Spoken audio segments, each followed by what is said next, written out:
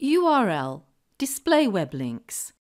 With Moodle, it's very easy to display for all learners links to websites or links to files uploaded online.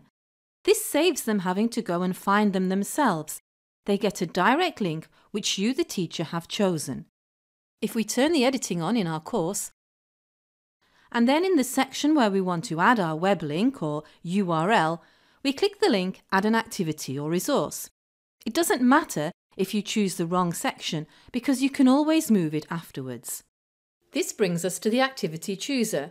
URL is a resource and we can click to go straight to the setup screen or we can click to get some information and then press add. Here we can put the name that we wish to give our URL.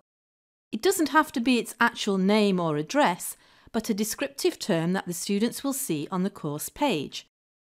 We can also add a description and if we want, display that description on the course page by ticking the box.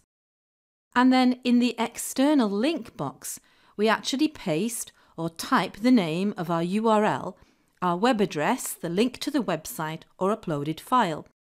And if we don't exactly know where our uploaded file is, we can click the Choose a Link button and that will take us to the file picker.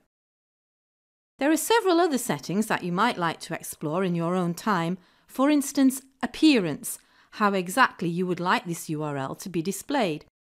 But for now, we scroll down, click Save and Return to Course, and we can see that we very quickly added a link to a website for our learners to access.